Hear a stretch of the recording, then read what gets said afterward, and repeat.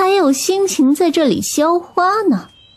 哦，也对，你是聋哑人，可听不见我在说什么。你不知道吧？爹爹可帮你寻了门好亲事，再过三天就要将你悄悄的嫁出去。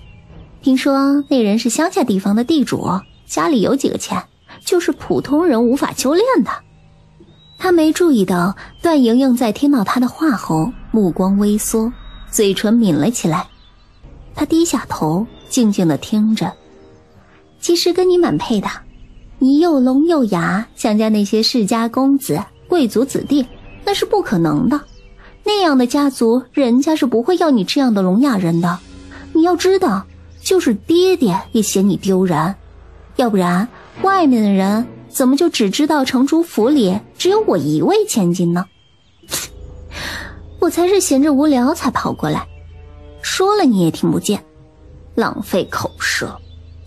他嫌弃的瞥了他一眼，一转身便离开了。也许是因为心里不痛快，特意来他这个聋哑姐姐这里找优越感吧。然而走到外面的他停下了脚步，想到她顶着他的脸嫁给了乡下财主，他就有种犯恶心的感觉，有个疯狂的念头在心里浮现。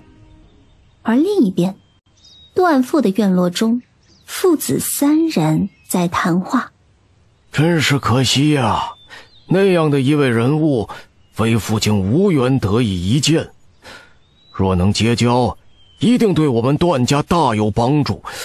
可惜，可惜了。可是，他杀了二弟的师尊，这事只怕……段城主迟疑的说着，想到当时孟家的那场暗杀，便对段慕白道：“那场刺杀出动了四名飞仙强者，几十名元婴。”是下了必置那凤九于死地的决心呢？极有可能是宗主让人做的。若这事真是宗主让人做的，只怕丹阳宗要麻烦了。凤九身边那人，可能是炎殿的炎主。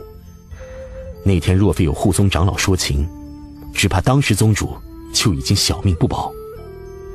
我原本就担心宗主会让人刺杀他，已经派两名弟子出宗门找凤九，只是没想到。还是慢了一步。有炎殿的炎主在凤九身边，想杀他，没那么容易。而且，别人不知那人是炎主，倒一回事；若是知道，估计怎么也不会接着刺杀的任务。这倒也是。而且，凤九的身手实力本来就很出色。父亲，大哥，既然没什么事，我先回院休息一下。明天一早。